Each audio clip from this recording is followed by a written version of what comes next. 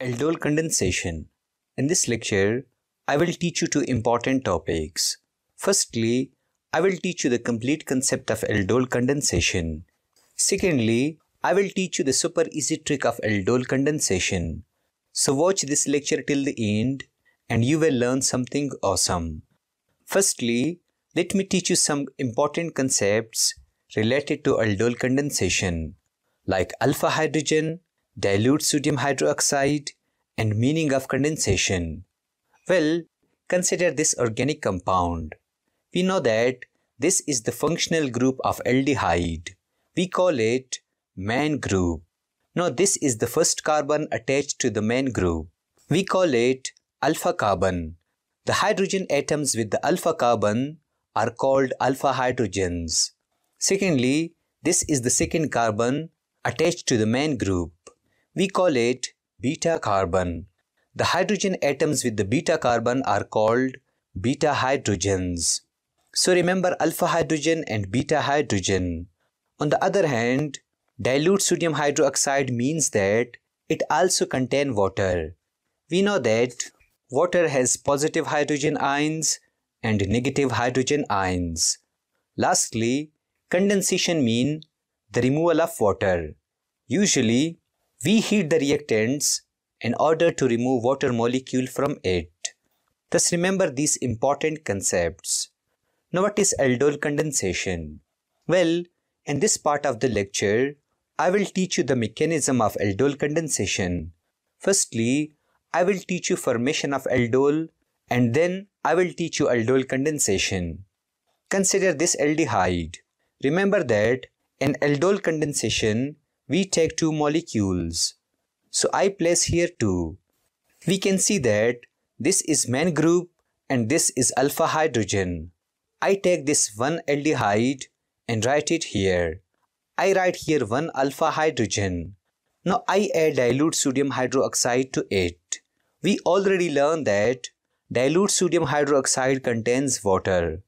Now this is hydroxide ion which has negative charge. Here, the electrons will shift towards carbon and positive charge will appear on this alpha hydrogen. We know that negative charge and positive charge love each other, so they react together to form a water molecule. I get CHO and CH2. This carbon has negative charge. Now I take the second molecule of aldehyde.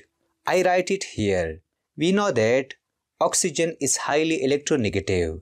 It will attract the shared pair of electron. Hence partially positive charge appear on this carbon and partially negative charge appear on this oxygen. Now this negative carbon will attack on this positive carbon. I take this CHO. I write it here. I take this CH2. I write it here. I take this COH. I attach it to this carbon. I take this CH3, I write it here. We can see that this oxygen has negative charge. We have to neutralize this negative charge of oxygen. We know that there is already water present. Hence this negative oxygen will attack on this positive hydrogen. Hence I write this molecule as it is. I attach hydrogen to this oxygen. Now listen carefully. This molecule contains two functional groups. This OH are alcohol group. Secondly, this CHO are aldehyde group. For aldehyde group, I write ald. For alcohol group, I write ol. So we get aldol. Therefore, we call this molecule as aldol because it contains aldehyde group and alcohol group. Now I will teach you aldol condensation. We know that aldol condensation is the removal of water molecule from the aldol. I write here this aldol. We provide some sort of heat to it. We can see that this CHO is the main group. This is alpha carbon. This is beta carbon. Now listen carefully. The alpha carbon will lose hydrogen and the beta carbon will lose OH. Let me repeat it. The alpha carbon will lose hydrogen and the beta carbon will lose OH. Hence I write here H2O and I write this remaining molecule. Alpha carbon and beta carbon has lost one species each.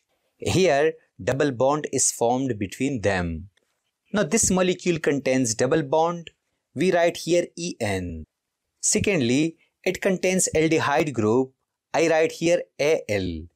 Hence we get enal. Remember this important MCQs. After aldol condensation, we get dash RNL. So this is enal molecule. Here, let me teach you an important question. Why double bond is formed at alpha carbon? Can you guess the answer? Well, it is because double bond is more stable at alpha carbon. Let me repeat it. Double bond is more stable at alpha carbon. Hence, it is therefore formed at alpha carbon. So note it down all these important concepts. Now in the last part, I will teach you the super easy trick to remember aldol condensation. Consider this conversion reaction. We can see that this is aldehyde and this reaction is aldol condensation. Now I write the second aldehyde below the first aldehyde. We know that aldol condensation is the removal of water molecule.